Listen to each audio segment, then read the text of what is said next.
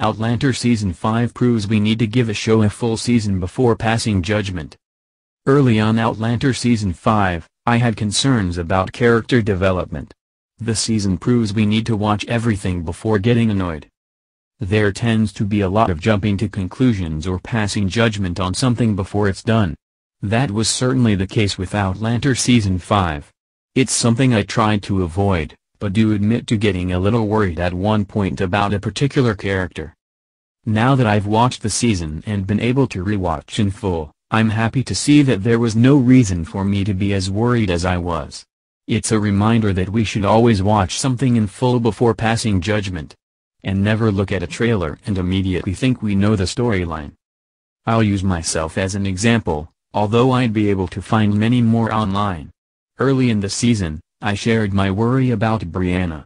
The promo material focused more on her as a mother and early in the season she was more of a supporting character for everyone else's storyline. This is a woman who is a rape survivor. She's a strong-willed, passionate woman who certainly has a mind of her own. Becoming the stereotypical mother character just didn't fit with what we'd seen before and it ran the risk of leaving out so many storylines and so much development in the future. However, when I shared my worries, I did point out that I was reserving full judgment until the end of the season. I didn't know what the writers had in store and I was willing to be patient. I'm glad I was. The tail end of Outlander Season 5 helped to quell my worries. We got to see her face off against Stephen Bonnet. She showed him some mercy, but at the same time, she made sure that he was out of her life for good.